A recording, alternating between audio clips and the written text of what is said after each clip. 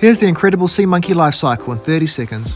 On day zero, the dried eggs are added into water. Within 16 hours, they begin to crack open and the baby sea monkey starts to emerge. After 24 hours, the first babies have completely hatched and begin swimming for the first time.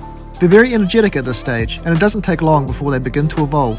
On day 2, we can already see some changes. They grow longer and begin to form a tail. On day 4, new legs begin growing on the sides of their body. After one week, the sea monkeys have become teenagers, and they begin to undergo sexual differentiation. Females become much larger and longer, while males develop large clasping antennae on their heads, which are used to grab onto the female at around 3 weeks of age to initiate mating. The female will then become pregnant, developing an egg sac at the base of her abdomen. And then, only one month after she was born, she'll start birthing babies of her own.